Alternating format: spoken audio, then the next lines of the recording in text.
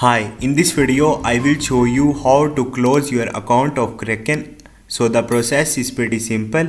First of all you have to uh, use this URL I will give you in description. So use this uh, link to close your Kraken account. So simply you have to uh, first of all open it and you have to select other option here and once you will click on the other now you have to enter the email address related to your account on the kraken. And once you will do it now you have to click on the category. And from here you have to select the close account.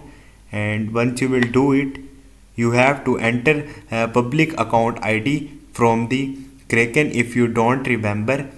And here you have to write why you would you like to choose your close your account. So simply give your reason like uh, I am moving toward Coinbase or I don't want to use Kraken anymore. So uh, here you have to select the option like are you a resident or citizen of European Union? So select option yes or no. And after that click on this I have no balance left to withdraw. So before closing your account, make sure transfer all of your amount to some other wallet. Otherwise, uh, maybe your money will lost.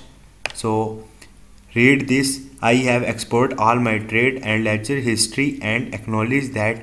So do both of these and then tick it and and here you have is there anything we can do to improve if you want to give the suggestion so it's a mandatory thing. You have to give the suggestion before uh, leaving uh, Kraken and click on the submit. They will respond you as soon as possible. Hope this video will helpful for you. See you next time. Thank you